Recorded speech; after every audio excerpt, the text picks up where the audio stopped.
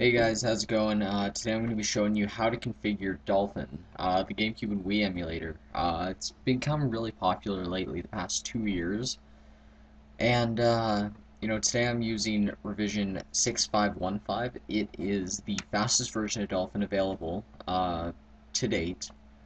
And as you can see right now, I only have a few games, but they all range from the easiest game being Zelda Collector's Edition, all the way to Monster Hunter Tri, which is the hardest game to emulate that I have found so far. Um, so right now I'm going to teach you how to configure it so you can run it on pretty much any system. I'm going to go through my settings and then I'm going to go through what you guys should put it at if you have a lower grade computer. Um, here, so right now I'm just going to open up the uh, DXDiag for my computer. And, uh, oh my god, I can't spell. Alright, so we're going to open this up, and I'm going to show you guys my computer specs. Um, sorry. Uh, right now I'm running an AMD Phenom 2 X4 920 processor. It is a quad-core, and it's supposed to be clocked at uh, 2.8 gigahertz, but I've overclocked it to 3.1. Uh, it sped up my emulation by about 20%, which I'm very happy about. Um, I'm also running 4 gigs of RAM, and if you can look here, I'm also running Asus Radeon 50, uh, 6450 uh, HD card.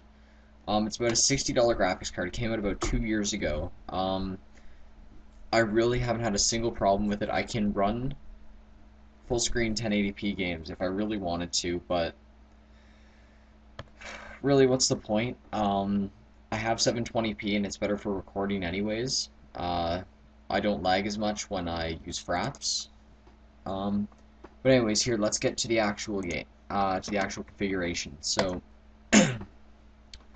basically, the only thing you really have to change on this page is first, skip your GameCube BIOS, you really don't need it, and then load up to 60 frames per second instead of auto or off. Uh, the reason I say this is because when you put it at 60 frames, it'll actually make all your games, I don't know why, but it will make your 30 frames per second games run at 30 and your 60 run at 60 instead of having, you know, a GameCube game which is supposed to run at 60 frames actually run at 30 because the GameCube BIOS says so. Um, it's really weird, but I've figured out the 60 is the one that works perfect for me.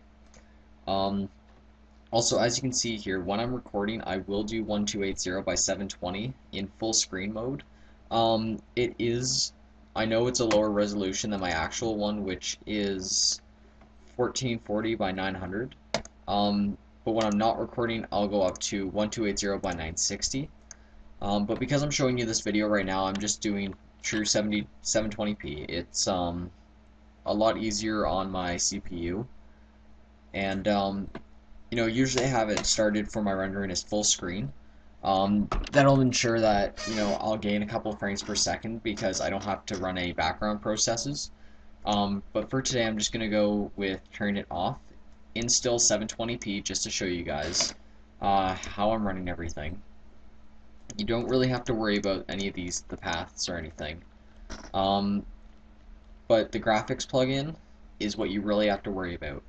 Uh, I like using Direct 3D9 or OpenGL. I personally, for recording, uh, is Direct 3D9.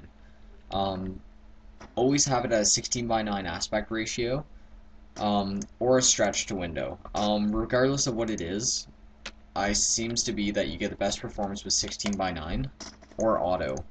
The only thing I don't like about auto is that when you look at the screen, you get big blocky black squares right here and right here. And really, to be honest, it annoys me, so I keep it at the 16 by 9 keep the widescreen off because you get a lot of graphics errors in a lot of games, especially Twilight Princess. Keep your VSync off unless you have like a 4.2 gigahertz quad core processor or you know an i7. Um, for your anisotropic filtering, always keep it at one, unless you're not recording. Then I'd put it up to probably four.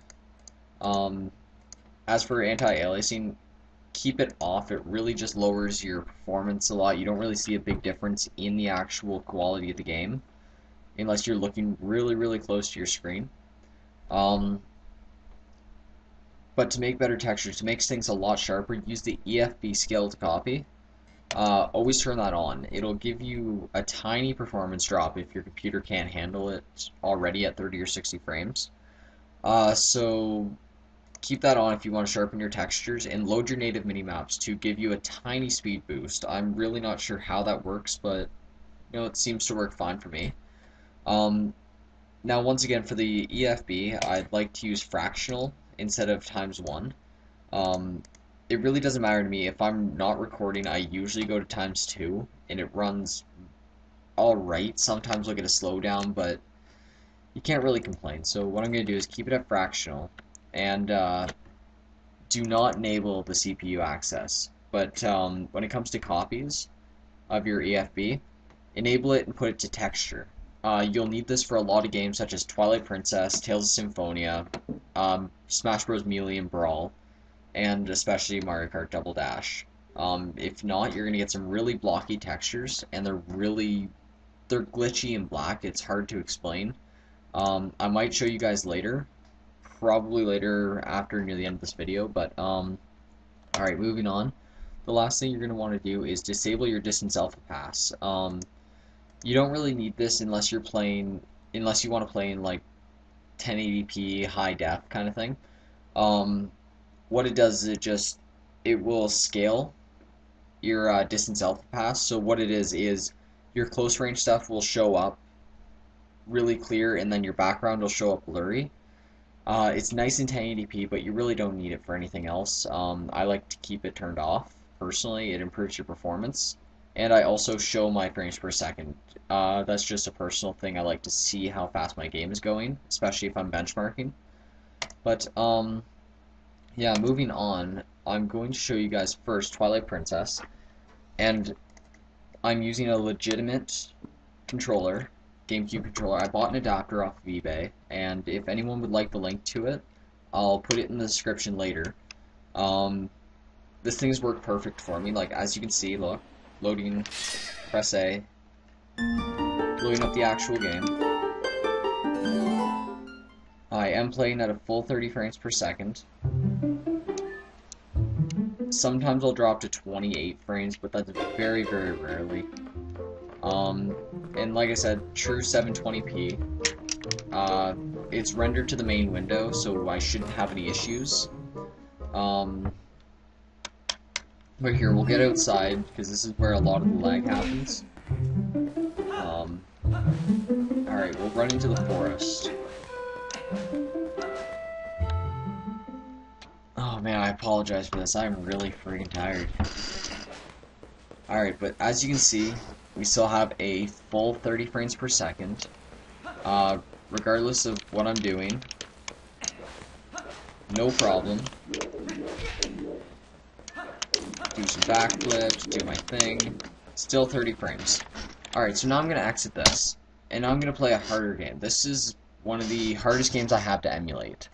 I'm going to load up Monster Hunter Tri, and here, I'm going to show you right now. I am playing, playing with a keyboard and mouse. Um, alright, so, what I'm going to do is load this up, and just take a look at the frames per second in the top left, uh, top left of my screen for the emulator. You'll see an FPS counter that's blue. Just keep looking at it. Um, it's the hardest game I have to run so far. Uh, it's not really CPU intense, but it's very, it, it relies on the GPU a lot.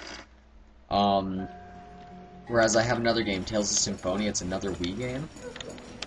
It takes a lot of your CPU, so it's harder for me to record it at a full 60 frames.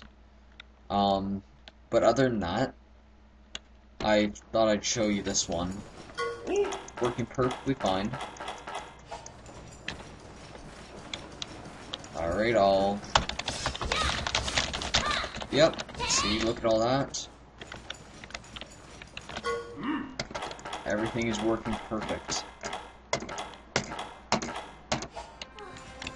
And now, uh, for the final thing, I'm gonna go into a group of monsters. This is usually where your lag takes place. Um, you'll usually drop to about 27 frames, 28 frames, which really, it's still playable, it's just a little bit annoying. So, I'm gonna go here, I'm gonna see how it's recording. But like I said, once again, true 10, uh, true 720p, no issues, and this just goes to show that, you know, you don't need a great gaming computer to be able to play GameCube and Wii like everyone says. Like, this rig cost me about 500, 520 bucks, and it has been amazing for me. Couple of tweaks here and there in the BIOS, and I'm set to go with all my overclocking. Um, but no, there you go. Still a full 30 frames per second. And, um, hmm. Alright. Like I promised, I'm going to show you guys what what happens when you don't use the EFB uh, scaled copies. So what I'm going to do is turn that off, and I'm going to load up Melee. Once again with the GameCube controller all fine. Everything works perfectly fine here, you know, no problems. We're gonna go to just a basic melee.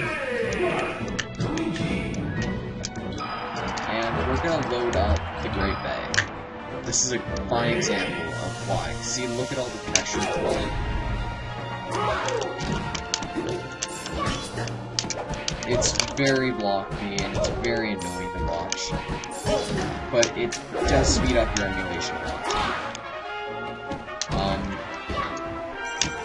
it's really personal opinion if you can stand it or not. I can't.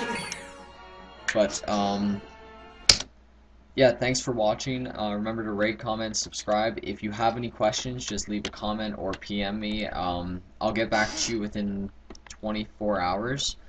Um, if you have any questions, if your computer setup is good enough, if it can run it, um, once again, just send